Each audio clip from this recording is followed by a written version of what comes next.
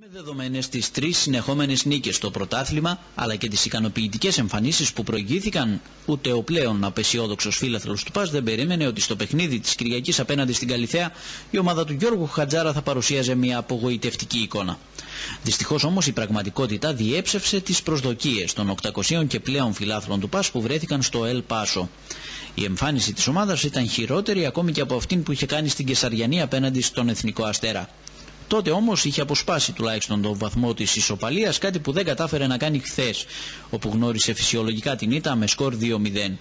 Ο Πας παρέμεινε στην πρώτη θέση της βαθμολογίας μαζί με την Καλυθέα. Απογοητευμένος και προβληματισμένος από την εμφάνιση έδειξε ο μεγαλομέτωχος Αλέξης Κούγιας που παρακολούθησε το παιχνίδι μαζί με τον πρόεδρο της Καλυθέας Νίκος Αλευρή.